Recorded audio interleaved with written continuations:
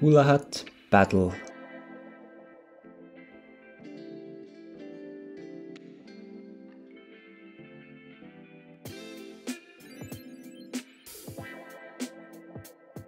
It is a game of aiming with the goal of knocking down the enemy's fortresses. Set the game area according to number of students. Every team needs 6 hoops and 4 balls. Every player defends the fortress built from 6 hoops and attacks the enemy fortress by throwing the ball.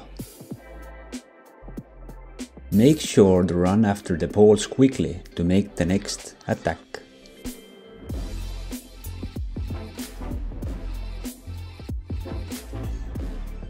Play until all the fortresses are knocked down.